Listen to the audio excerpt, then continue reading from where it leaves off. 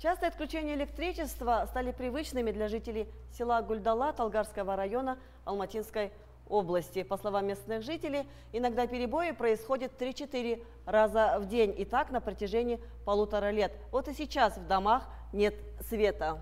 Нет освещения и бытовая техника не работает. Сегодня в очередной раз в этом селе люди остались без электричества. Таибжан Аюпов, один из местных жителей, вместе с внуком пошел привычным маршрутом. Не дожидаясь чуда, мужчина отправился в сарай, чтобы подключить электрогенератор. Мужчина говорит, что только так он может сохранить товар. Это скоропортящиеся продукты, выставленные на продажу в его магазине. Где-то в мае свет то включали, то отключали, и у меня в магазине сгорели два холодильника. Пришлось мне их выбросить и вместо них поставить другие, потому что ремонт обошелся бы очень дорого.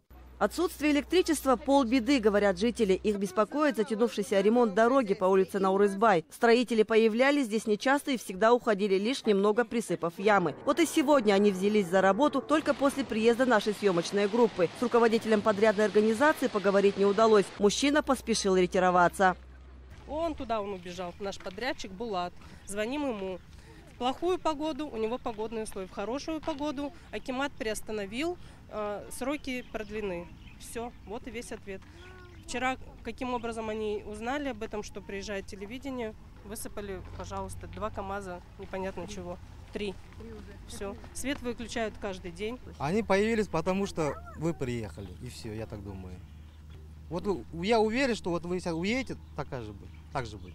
В разгар диалога с местными жителями приехали и представители местного акимата. По их словам, на ремонт дороги протяженностью около километра из бюджета Толгарского района выделено около 10 миллионов тенге. Работы ведутся без нарушений согласно установленному графику. А частые отключения электроэнергии, по их словам, следствие изношенности электропроводов, большинство из которых не менялись уже полвека.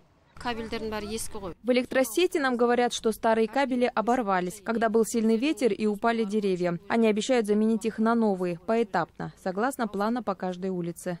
Пока ситуация с поставкой бесперебойного электричества жителям Гульдалы остается непонятной. А вот завершение прокладки асфальта на улице Наурызбай до 18 ноября заместитель сельского акима обещала проконтролировать лично.